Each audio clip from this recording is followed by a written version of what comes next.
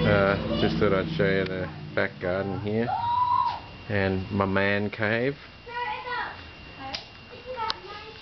There's my little workstation and the drums and stuff. My